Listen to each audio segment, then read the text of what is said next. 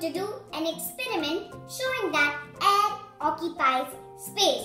For this experiment, we require a container filled with water, a clear glass and a sheet of paper or tissue.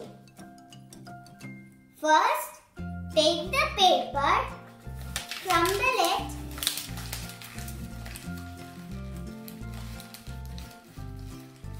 Then put it into the clear glass.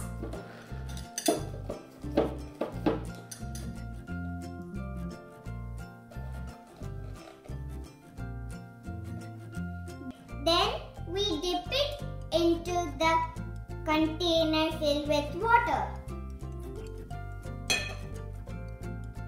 Now we slowly take it out Shake out the excess water.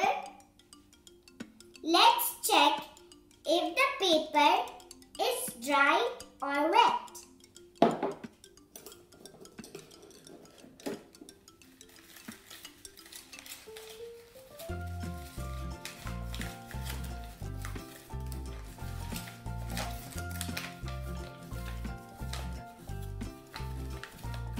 See, the paper is dry because there was air inside the clear glass